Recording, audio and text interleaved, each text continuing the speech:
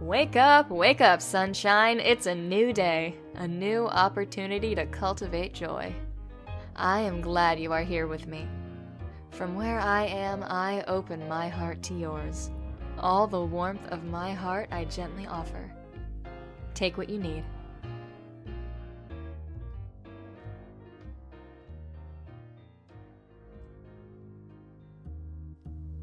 We will start with an affirmation practice, followed by a visualization exercise. If it is possible for you, ground your feet wherever you are, standing or sitting. Feel the earth beneath you, sustaining you. Your spine is tall and straight. Your abdomen is active. You can feel your fire. Now, Take a deep breath and exhale. Again, inhale and exhale. Close your eyes if it feels right for you. Inhale and exhale. I want you to repeat to yourself the following words I deserve to be seen. What I have to offer, it matters. I matter. I matter. My words matter. My feelings matter. I matter. Beautiful. Good job. Now, for a few seconds, I want you to let your arms fall gently.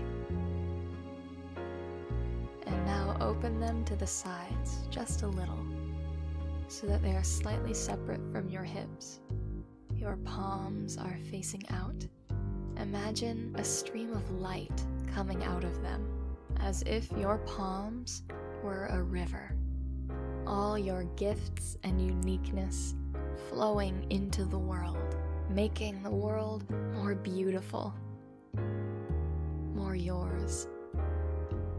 Very good. Relax your arms and breathe. Open your eyes and prepare for the topic of the day. Today, I want us to think about what we have to offer to the world. What are the gifts you are ready to share? What are the skills you can offer? All of us have many things, beautiful things to offer to the world. Everyone has their very unique set of gifts according to their personality. Some of us share our writing. Some of us are excellent organizers. Some are leaders.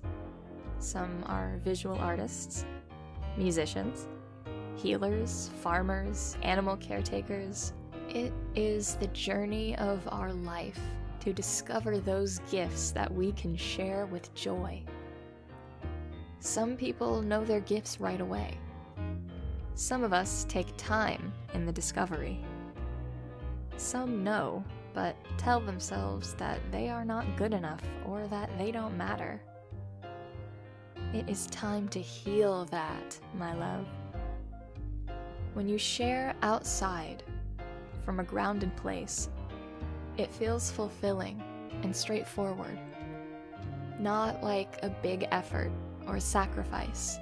You don't overthink it, don't suffer it, and you can even see where it wasn't perfect but it doesn't take you down. You feel in your element. You feel that all is well. It is hard to always be there in the grounded place of giving, but we can always find our way back. Trying many things may be your way to go until you find the right one for you, or you can commit to one thing and go from there. The important thing is for you to remember that what you offer deserves to be seen. You deserve to be seen. I believe in you. From where I am, I open my heart to yours. All the warmth of my heart I gently offer. Have a blessed day, baby. See you on the other side.